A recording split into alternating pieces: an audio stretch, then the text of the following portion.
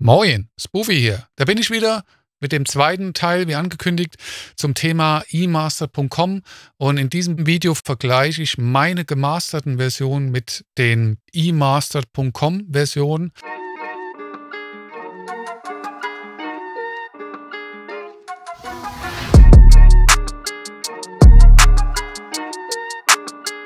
Äh, die gemasterten Versionen von mir wurden natürlich vorher erstellt, also die hatte ich ohne jetzt äh, gezielt äh, Vergleich-Masterings zu machen, sondern die Songs waren schon draußen, die zwei Songs, die ich da verwende. Und ähm, ist sehr interessant. Auf jeden Fall. Hundertprozentig. Bleib dran, guck's dir an und Daumen hoch und Abo und Kommentar. Ich habe, wie versprochen, jetzt hier das alles in Cubase reingeladen. Die beiden Songs äh, und drei Versionen pro Song einmal die ungemasterte Version hier oben in einem schönen Braunton.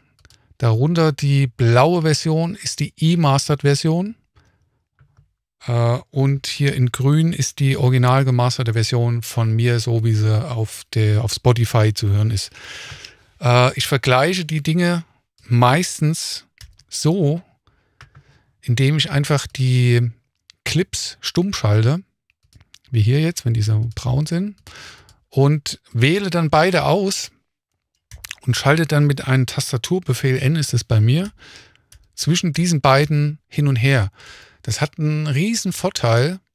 Äh, ich kann nämlich einfach auch weggucken, kann die Augen zumachen und kann einfach mit einer Taste so lange hin und her switchen, bis ich eigentlich gar nicht mehr weiß, welche Version gerade läuft. Und äh, das hat den riesen Vorteil, dass ich tatsächlich ehrlich eine Entscheidung treffen muss, was mir besser gefällt. Nicht, weil ich weiß, welche Version läuft, sondern weil ich höre, welche Version sich gefühlt besser anhört.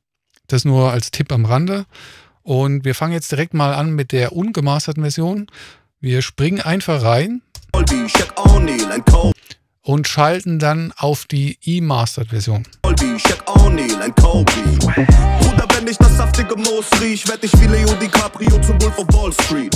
Bitches entern mein Instagram-Profil. Keine Klimmzugstange, doch sie wollen sich an mir hochziehen. Also das ist jetzt dasselbe Ergebnis, wie wir vorhin direkt auf der Website hatten. Der, die E-Mastered-Version wird leiser. Jetzt hört es sich auch an, als ob da eine ganze Portion mehr Bass drin ist im Moment, so auf den Kopfhörern. Das kann auch daran liegen, dass die Mitten relativ weit da runtergedreht werden. Äh, und dass es dadurch wirkt, dass das Ganze ein bisschen mm, basslastiger ist. Es hat halt so einen Hi-Fi-Sound, bekommt es.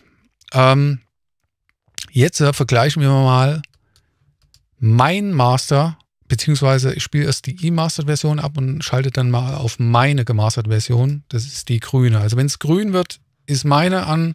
Wenn es blau ist, wie hier, ist die E-Mastered-Version an. Moos riech, werd ich wie Leo DiCaprio zum Wolf of Wall Street. Bitches entern mein Instagram-Profil. Keine Klimmzugstange, doch sie wollen sich an mir hochziehen. Oh, please, get down on both knees. Nicht Laureen, but she's killing me softly. Chefsessel, freitags, bin on screen.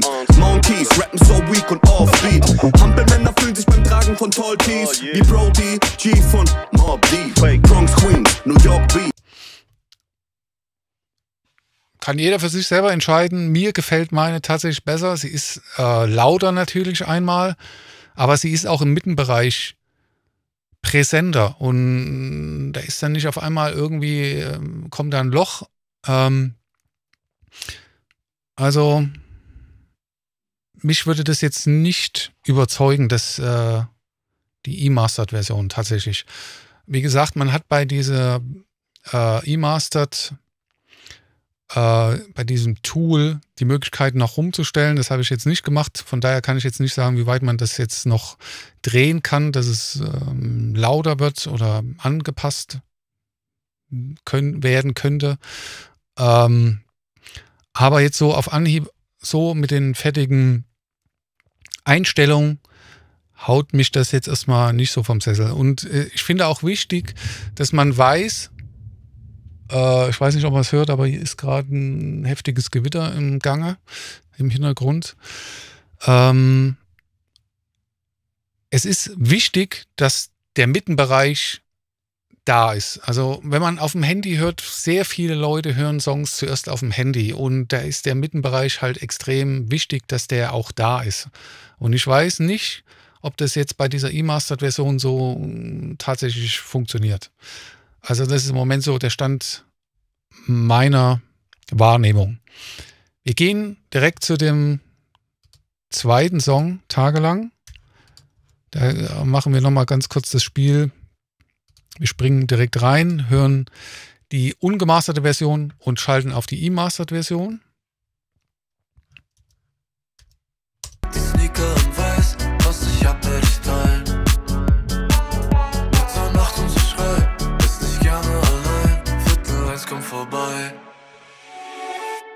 Die Nacht zu meinem Tag, lass uns von Club zu Club ziehen.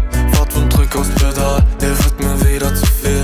Schafft es einer von uns schafft es auch unser also ein deutlicher Unterschied und es klingt auf jeden Fall, wo man sagt, geil, ist cool, ist auf jeden Fall ein ähm, Upgrade und könnte funktionieren und wird mit Sicherheit auch funktionieren beim Release. Jetzt schalten wir mal die E-Mastered-Version um auf meine gemasterte Version, so wie sie auf Spotify äh, released wurde und zu hören ist. Zuerst die E-Mastered-Version und dann, wenn es grün wird, ist das meine Version. Der wird mir wieder zu viel. Schafft es einer von uns und schafft es auch unser Team. Will ich fliegen da oben, dann blick ich ins Paradies. Sie schreibt mir Nachricht auf mein iPhone, doch ich weiß nicht, wo sie ist. Auf auf Asphalt mit meinen Likes und in der Gegend ohne Sicht. Sag mir, wird die Zeitung sein oder bin ich hier am Tisch? Sag mir, soll ich heute vorbeikommen oder denkst du nur an dich? Wir bleiben wach und das tagelang, schreib mir, dass sie nicht warten kann wie Sand die Zeit. Ihre Wimpern machen crazy. Also offensichtlichste ist natürlich, dass äh, meine Version deutlich lauter ist. Auch wieder mehr mitten betont klingt. Und das, also mir gefällt auf jeden Fall die E-Mastered-Version ziemlich gut.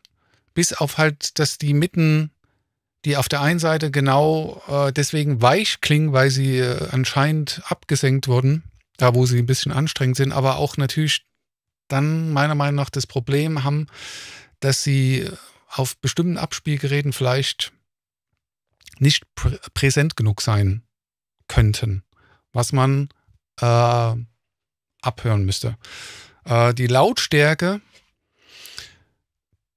könnte man jetzt probieren, nochmal mit einem Limiter anzupassen. Also, dass man ungefähr auf dieselbe Lautstärke kommt. Und das mache ich jetzt mal hier. Hier habe ich auch einen L2-Limiter drauf. Und jetzt nehme ich mal einfach die E-Mastered-Version, die gemastert ist, und mache mit einem Limiter nochmal eine Gain-Anhebung und äh, versuche die Lautheit, die Lautstärke nochmal extra anzuheben von dem Song, um ihn an die Lautstärke ungefähr anzupassen, äh, wie ich sie habe und dann nochmal zu vergleichen. Das probieren wir jetzt einfach aus. Der wird mir wieder zu viel. Schafft es einer von uns und schafft es auch unser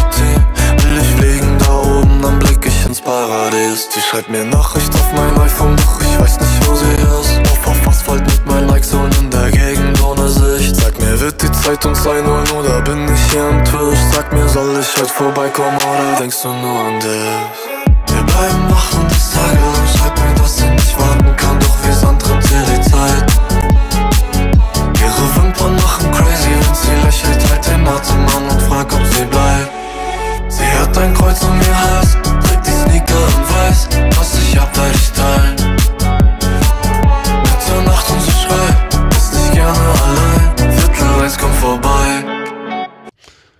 Also das klingt schon wieder um, interessanter auf jeden Fall. Also ich muss sagen, dass ich ein bisschen hin und her gerissen bin, was besser ist es gibt manchmal Sachen, die gefallen mir bei der E-Mastered-Version, die jetzt lauter gemacht wurde, also auf die Lautstärke ungefähr angepasst wurde, wie mein Master war oder ist. Und dass da bestimmte Sachen ähm, unter Umständen besser klingen könnten. Ähm, es ist sehr schwer jetzt zu beurteilen, was davon, was besser oder schlechter ist. Das ist wahrscheinlich dann auch irgendwann Geschmackssache und man müsste es jetzt auf verschiedenen Anlagen hören.